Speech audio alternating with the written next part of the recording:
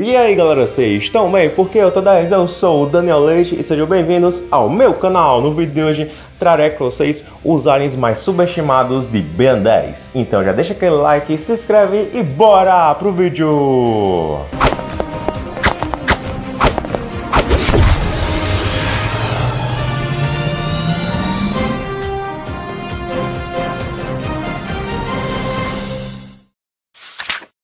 Então, galera, iremos começar a nossa lista com o acelerado, mas por que ele é tão subestimado assim? Pelo fato de que o XLR8 é melhor que ele. Ele tem uma velocidade aí maior, podendo parar o tempo, tem um controle da fricção, isso faz com que ele, mesmo correndo numa super velocidade, ele consiga frear em questão de segundos. Isso dá ele uma boa estabilidade e aerodinâmica, coisa que o acelerado não tem, já que ele não consegue controlar a fricção.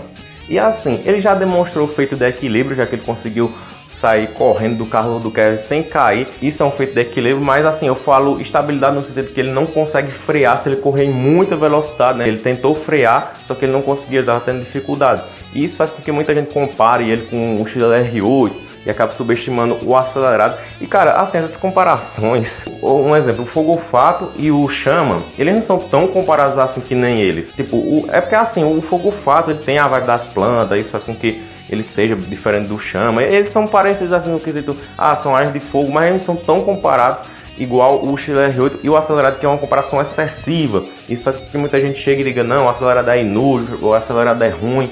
Mas a gente está falando do Alien que é confirmadamente mais forte que o XLR8.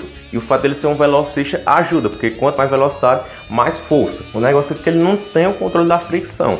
Mas se ele for usado da maneira correta, tipo, quando os esotéricos estavam aparecendo lá no, no final do Supremacia, no episódio O Começo do Fim, o acelerado foi lá correndo, dando soco. Isso mostra que ele tem um bom tempo aí de ação e reação, juntamente com a força. Então, o acelerado, ele é rápido, não tanto quanto o XLR8, mas ele tem a força ao seu favor. E se ele for usado da maneira correta, dá pra ele ser um alien boy. Porque ele não é muito explorado, o Ben também não usa ele Omniverse. Isso acaba lascando ele. O próprio Derek, infelizmente, né, ele subestima, ele não gosta do acelerado e ainda acaba subestimando ele. Isso acaba com a reputação do acelerado, porque, cara, o coitado, ele ficou no visual de Omniverse que o Derek fez, bem fraquinho, bem magrinho assim.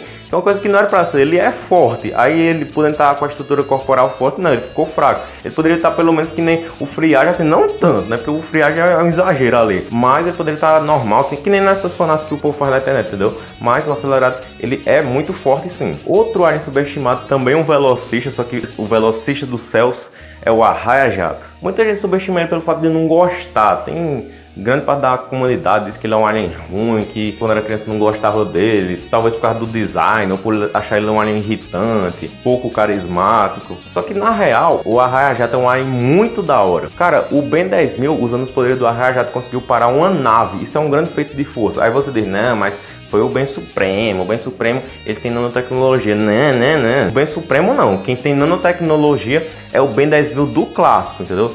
Tanto que a gente não pode afirmar que o XLR8 ele tem aquele visor lá, todo tecnológico, por causa que ali é um feito do Ben 10000 e ele usa nanotecnologia para boostar os aliens. O Ben Supremo ele não usa, ele tem o poder dos aliens, só que ele não se transforma, entendeu? Mas ele não tem nanotecnologia. Aí isso mostra que, é um, que é um feito sim do Arraia-Jato. Até porque em Alien Force foi mostrado um feito de força também do Arraia-Jato muito grande, que ele conseguiu carregar por alguns instantes o enorme monstro com as pernas. Então isso é um feito muito bom. Mas o maior feito do Arraia-Jato é em sentido de velocidade, por causa que, cara, ele atravessou o hiperespaço em questão de segundos, foi muito rápido. Eu sei que o Derek falou que isso aí é bug, o Matt Wayne também não concorda que ele tem esse poder, mas, cara, é mostrado na série, entendeu? Então não faz sentido ele dizer que, que não é, até porque a gente desconsidera esse negócio de poder de falha. E também o que os criadores falam que não faz sentido, a gente pode desconsiderar. Tipo, o Derek falou que o Ben 10 do clássico é o mesmo do Omnifest. Não faz sentido isso aí, entendeu?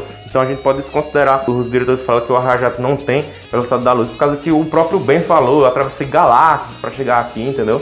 Então a Arrajato tem sim a velocidade muito alta, mais rápido que o gigante, né? Eu fiz aí um vídeo falando que o gigante tem a velocidade da luz. E eu vou fazer outros vídeos, viu, galera? Especificamente de aliens que também tem a velocidade da luz. Aguardem aí, principalmente vocês membros que vão receber esses vídeos antecipados. O cromático. Chamou o cromático?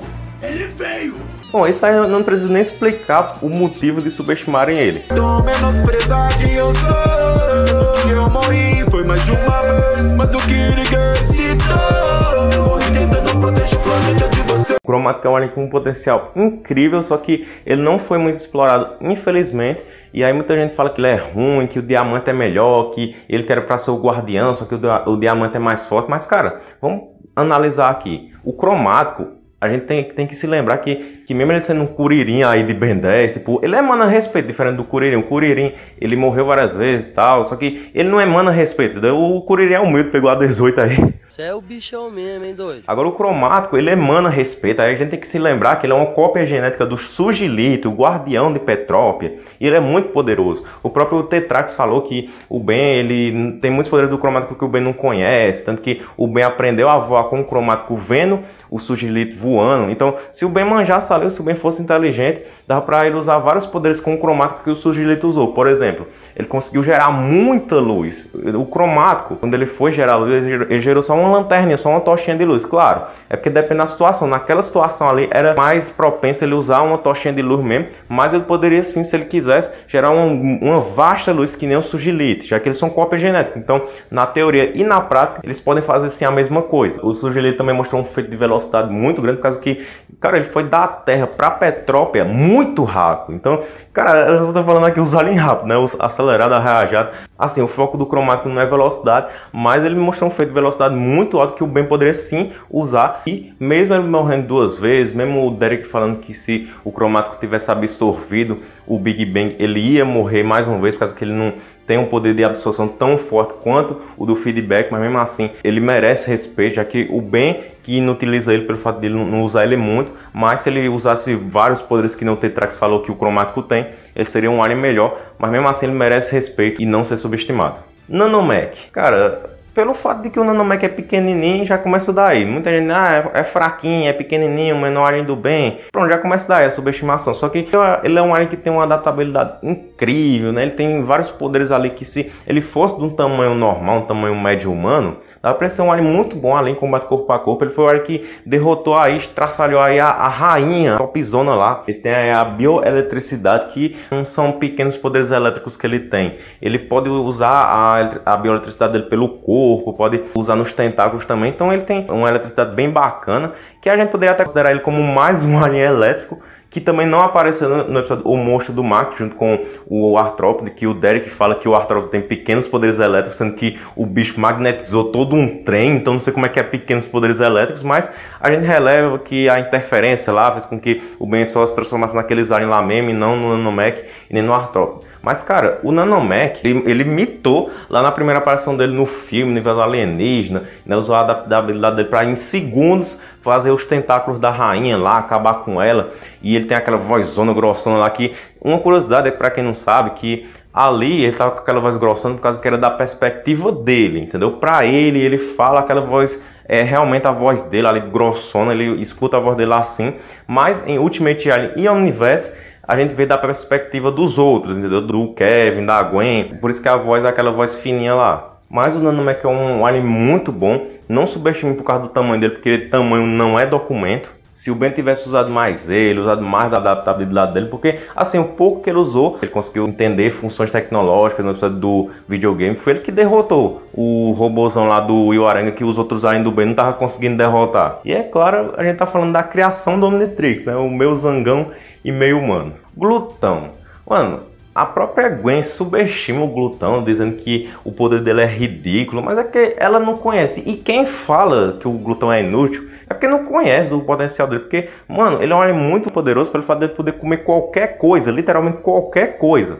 No clássico, ele não pôde comer aquelas pizzas por causa que o Ben não sabia fazer aquilo. Era só falta de experiência mesmo, né? Porque ah, o Ben tinha acabado de ganhar o glutão faz pouco tempo, ele não sabia como fazer aquilo. Tanto que em Omniverse, a gente vê que os gormanos eles comem sim comida orgânica, por causa que quando ninguém, ninguém pode falar em comida, que ele já, ele já pensa na comida e fica querendo comer, fica na vontade, entendeu? Então era por causa que o Ben estava inexperiente com o glutão ali. Só que ele consegue comer comida orgânica com o tempo, né? Em Alien Force o glutão turvo ele come o seu sorvete. Em Omniverse, o, o glutão ele engole três tigres inteiros. E também engole o siridoso. Então isso mostra assim que ele pode comer comida orgânica e transformar tudo naquele em lugs, que são aquelas gosmas explosivas que ele faz. E dependendo do que ele comer pode fazer uma explosão muito grande. A gente vê isso na aparição mais marcante dele do clássico, que é Ben 10 contra o 10 Negativos Parte 2. Ele come a subenergia e derrota o Driscoll da maneira mais da hora possível, tornando aquele episódio um episódio épico e também que o próprio Derek J. White confirmou que o glutão pode comer um tocucha, só que partido em pedaços, e até um próprio sapien celestial, vezes se ele não fizer nada, é claro. Concluindo, mesmo a Gwen subestimando ele, dizendo que ele tem poderes ridículos, a gente sabe que o então é isso, galera. Comenta aí se vocês querem mais vídeos assim sobre trazendo mais áreas subestimadas. Porque não é só esses não, galera. Vocês sabem que tem mais outros aí. Comenta aí qual que vocês querem que apareça né, num estilo de vídeo desse. Deixa aquele like, se inscreva no canal. Se possível, seja membro aí, que é um dos benefícios da hora. Ativa o sininho, falou e tchau!